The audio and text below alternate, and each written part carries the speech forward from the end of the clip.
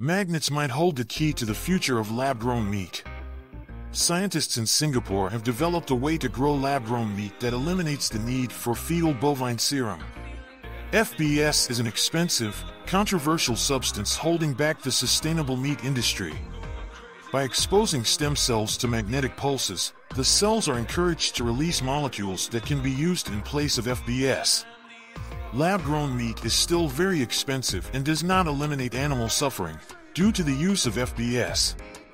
This could be one of the breakthroughs that puts affordable, cruelty free clean meat on the table.